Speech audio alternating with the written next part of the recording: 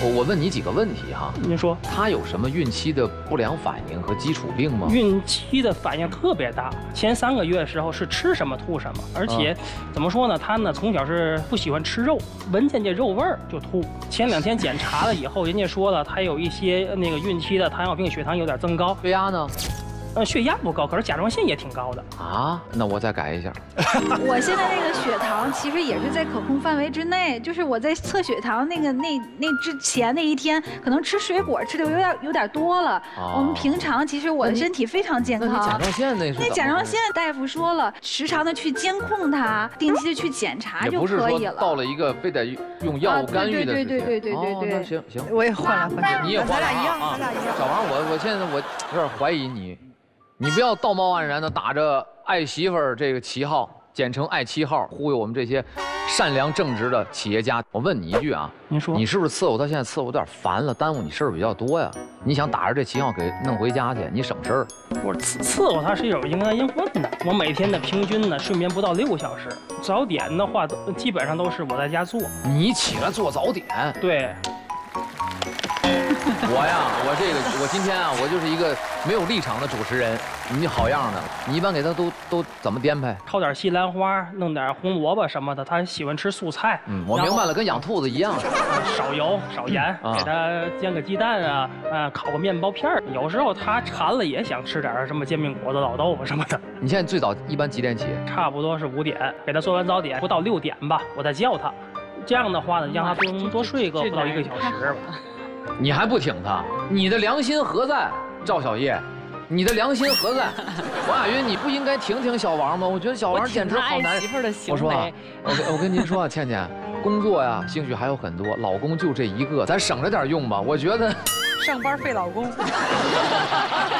我觉得你说的特别对，上班费老公啊。我们单位同事也这么说，说我天天呢打两份工，一份工啊在单位，一份工啊在我媳妇儿那儿。而且你今天刚一上台的时候，我看你这三十四，我都感觉你现在有点像四十三的都，忒这个着急着不是着急，就疲惫的感觉。其实啊我觉得他不是照顾我疲惫了，他就是天天的。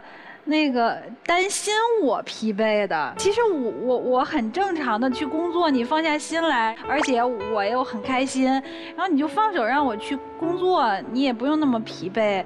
他这事儿其实不用我们调解，你跟倩倩领导反映过吗？你就说，你看倩倩是这情况，对，您别提这事儿了，我啊，好几个月以前呢，我就给他们单位领导打过电话，领导还挺理解我。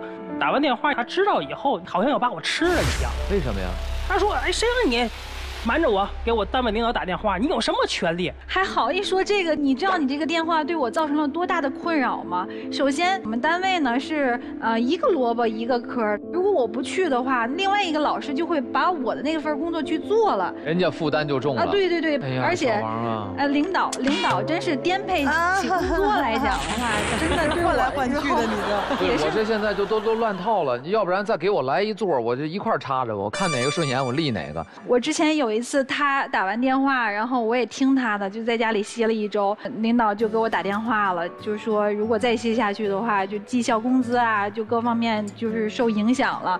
这话外之音不就是说我该上班了？对呀、而且就是单位里同时怀孕的人挺多的，一共五个。你说啊人家都不歇，我天天在家里歇着，人家怎么在背后说我呀？我里外里在家里做这么多思想工作，你还是不明白，到底是绩效工资重要，还是你和孩子身体重要啊？但是你说我我 在保证我自己身体安全的那个情况下，我觉得我的工你不可以老作对于我来说是非常重要的。哎呀，我觉得说太为难了。我觉得那个吴华瑶说的对，大卫不可以，我这现在是不得已呀、我这不是不可以，我这太忒难了。